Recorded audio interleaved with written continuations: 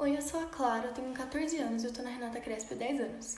A dança nessa pandemia tem sido muito importante para mim, para conseguir me libertar, para conseguir me expressar, para melhorar minha saúde física e mental através dessa arte.